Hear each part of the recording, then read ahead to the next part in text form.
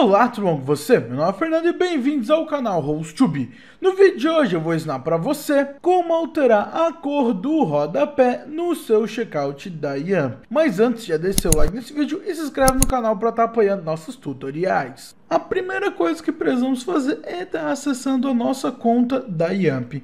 Então, já aqui no site yamp.com.br, nós vamos vir no lado direito superior e clicar no botão Login. E aqui nós vamos logar com o nosso e-mail em então basta clicar. Com isso seremos redirecionados para o painel de controle do YAMP e o que nós vamos fazer aqui é vir no lado esquerdo no menu lateral e vamos no botão chamado Checkout. Então basta clicar. Seremos então redirecionados para a página de personalização do checkout e o que nós vamos fazer? Logo acima vai ter o texto de personalizar e abaixo vai ter um menu. E aqui no menu nós vamos na opção segunda escrito rodapé, então basta clicar. E na opção de rodapé, para alterarmos a cor, basta logo no começo da página vai ter o campo de cores e que vai ter duas opções, cor do rodapé e cor do texto. E a cor do rodapé então seria a cor de fundo e a cor do texto é de todos os elementos que vão estar dentro do rodapé. Então por padrão a cor do rodapé vem como cinza,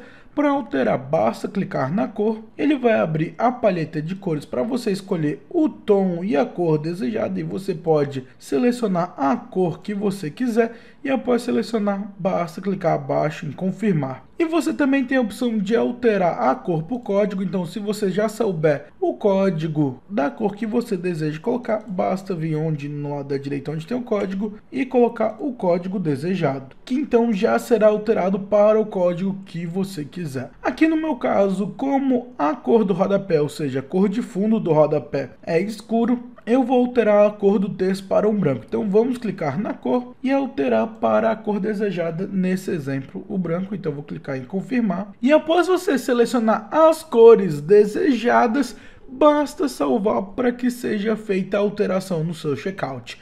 Então, para salvar, só vir no lado direito superior e clicar no botão salvar. Prontinho, com isso já foi salvo corretamente. E agora, se você acessar o seu checkout, no caso eu já acessei aqui, Vou atualizar a página e a cor do rodapé vai alterar corretamente para como você configurou as cores na página, então ele já vai alterar tanto a cor de fundo quanto a cor do texto que está aqui presente. E com isso agora você já conseguiu alterar a cor do rodapé corretamente do seu aqui pela plataforma Yamp. Então esse foi o vídeo, eu espero que esse vídeo tenha lhe ajudado. Se lhe ajudou e você quiser contribuir aqui com o canal e aqui com o curso, basta você clicar no botão abaixo, valeu demais, e fazer qualquer contribuição. Qualquer valor será de muita ajuda para continuarmos o nosso projeto. Nos vemos no próximo vídeo e tchau!